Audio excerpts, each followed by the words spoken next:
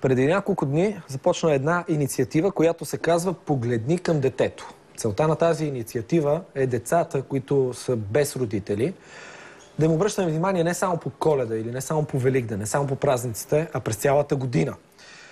Тази кампания беше организирана от Националното сдружение на сираците в България, а за патрон на кампанията беше избран господин Димитър Куцаров, когато вие познавате от кандидат президентската кампания. Също така бяха привлечени много известни личности, спортисти, музиканти, актьори и така нататък. Резултатът обаче от кампанията какъв е?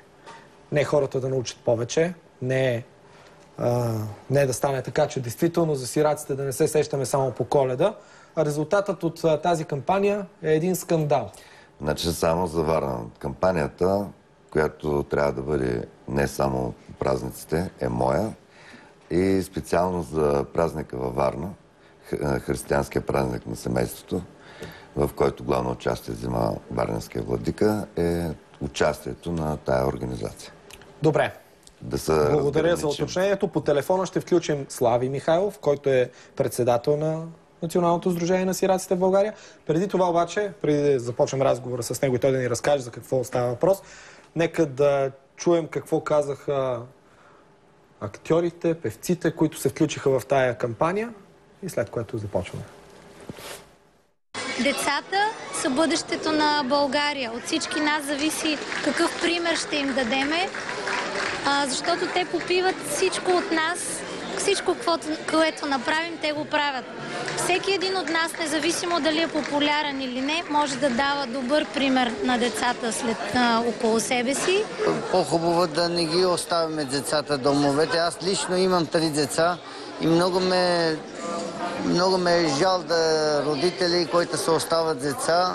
Искам да кажа така, да се обърна към политиците, да облегчат процедурата по някакъв начин по, по осиновяване на децата, за да може родителите и хората, които искат да се осиновят дете, да може това да стане по-лесно, защото и много репортажи съм виждал, които и така тук ме запознават с този проблем, че и не могат да осиновят деца, защото процедурите са много сложни. Така, сега имаме връзка по телефона с Слави Михайлов, председател на Националното сдружение на сираците в България. Здравейте! Добро утро! Чух хубави думи, които казват въпросните известни личности. Добра инициатива. Какво, сте, какво стана обаче? Какво се обърка? Намалете си звука на телевизора. Прощавайте, че ще ви го кажа и на вас. Значи, а, месец преди 21 ноември се роди идеята да направим нещо за на християнското семейство. А, първоначално мислихме патрон на инициативата да бъде госпожа Даниела Петрова, народен представител от Варна, която е председател Комисията по култура, гражданското общество и медиите тъй като с нея сме работили до момента и тя ни е подкрепила в много инициативи. Във връзка с това пуснахме едно писмо в Варнинските училища чрез инспекторат по образованието, че под нейния патронаж организираме конкурс на тема смисъл за есе, стихотворение и рисунка на тема християнското семейство, традиции и обичаи. Тогава аз а, трябваше да намеря спонсори, които да осигурят награден фонд а, за тези конкурси. И се обадих на господин Куцаров, тъй като него го познавам от президентската кампания. С молба може да се включи да помогне. На посещение в офиса му в София, заедно с Никола Георгиев и педагогическия съветник на едно от училищата във Варна, при господин Куцаров споделихме за идеята ни той хареса и видял в писмото, че госпожа Петрова е патрон на инициативата. Тогава той каза, дай ще го направим по-голямо, ще поканим известни личности, посланници, не знам какво и така нататък. Едни грандиозни неща, които са хубави. И а, каза, искам обаче да бъде под моят патронаж. Аз се съгласих веднага, защото става въпрос все пак за нещо още по-хубаво и че на децата ще им бъде по-весело да бъдат и известни личности.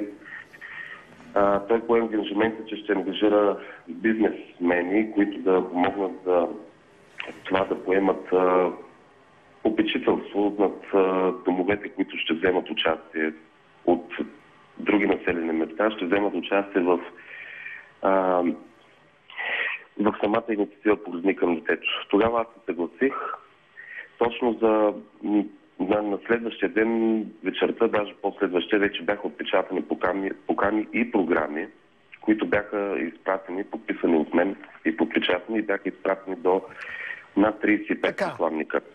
Понеже доста вече надълго на широко разказвате, да ви попитам, да минем и към тази част, какво се обърква? Какво се обърка в крайна А, сметка? това, което се обърка е, че господин Димитър Куцаров пое ангажимента а, да осигури а, спонсори, които да, да помогнат на домовете от Силистра, от а, Велико Търново, от Стара Загора, които посетиха, а, всъщност участваха, взеха участие в тази инициатива.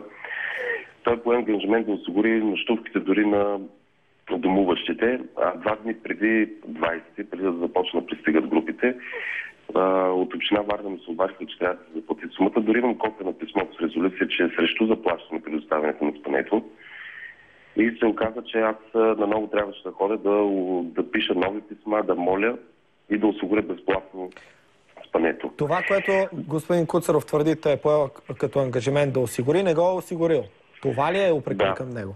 Да, другото, което е, другото, което е, че госпожа Даниела Петрова осигури безплатно ползването на залата в... В какво се съмнявате? Може ли да кажете съвсем директно какви са вашите съмнения? Ами лично аз и от колегите ми са имали питания към господин Куцаров и господин Куцаров е отговарял, че да не го занимаваме с глупости. Става въпрос по отношение на организацията, за храната на децата, къде ще спят, как ще се хранят. Дори в, на деня на 21 медиите, които присъстваха там, сами са забелязали, не само медиите. Господин Михайлов, може ли да кажете съвсем ясно какви са съмненията ви по отношение на господин Куцаров, за да може в крайна сметка да го включи и не- и него вече в разговора? Ами навсякъде в програмите и в поканите господин Куцаров посочи свои телефони за връзка в офиса си, плюс имейл. Смятате, че той е отклонил пари ли?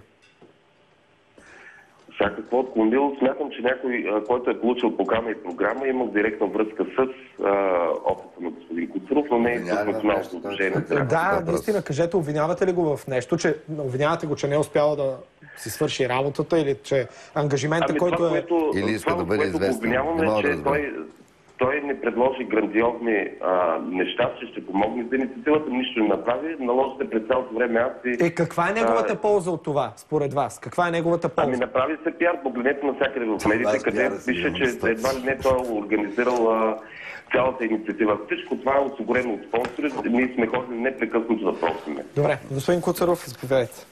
А, сега сам вие разбрахте и зрителите. Не, нищо не съм разбрал. Сега Не, не, то, то е толкова ясно.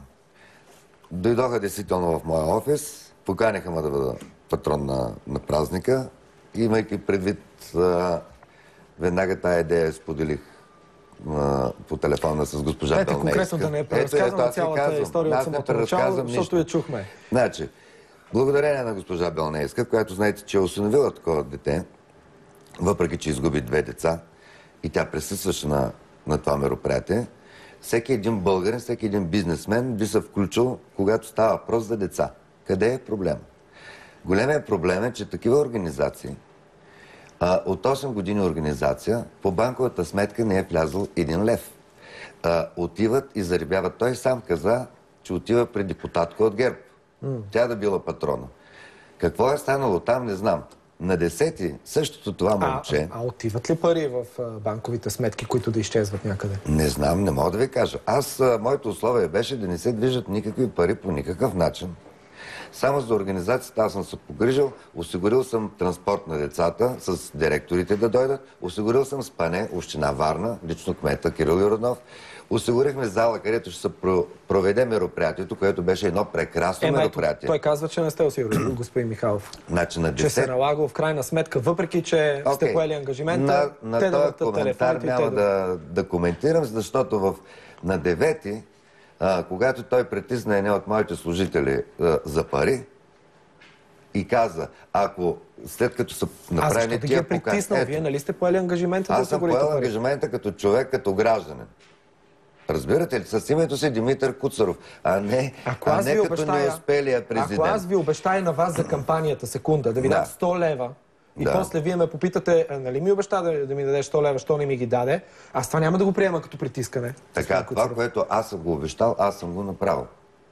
И на девети, когато той започва лично за себе си да притиска директорката ми във Варна за пари, понеже всичко е направено, и неговите думи са следните.